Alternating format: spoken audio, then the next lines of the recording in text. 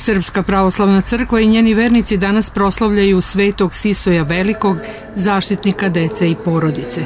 U hramu prenosa moštiju svetog Nikole Čudotvorca Mirlikijskog, tim povodom danas je održana sveta liturgija. Protojerej Zoran Ugrešić služio je svetu liturgiju, a svi vernici koji su se za to pripremali postom i molitvom mogli su danas i da se pričeste svetim darovima. Danas proslavljamo velikog ugodnika Božjeg i čudotvorca, svetoga Sisoja Velikoga, koji je živeo u petom veku, početkom petog veka.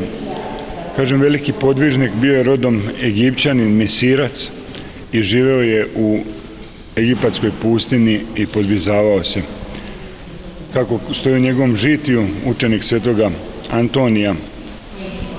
I zašto je toliko bitan i značajan za porodicu i za decu? Pa upravo iz razloga jer jednom prilikom bolesno dete u Keliju jedan otac doveo na blagoslov, dete je, kažu, kaže žitija svetih, umrlo, međutim kaže kad je otac izašao iz njegove kelije i krenuo u kući, dete istrčalo za njim po blagoslov svetog Sisoja.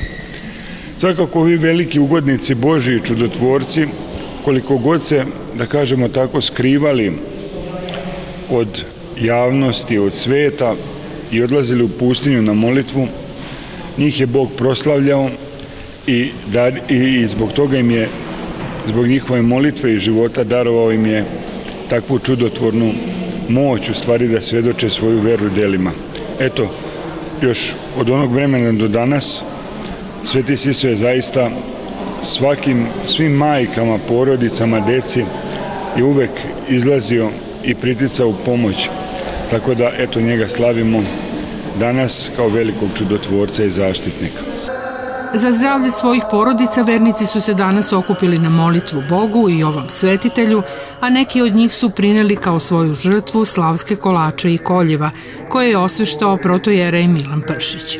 Vernici u nizovima, povezani rukom preko ramena, pojačavali su ovu molitvu, a na sveštenikovu tvrdnju Hristos posredi nas potvrđivali su u glas jeste i biće.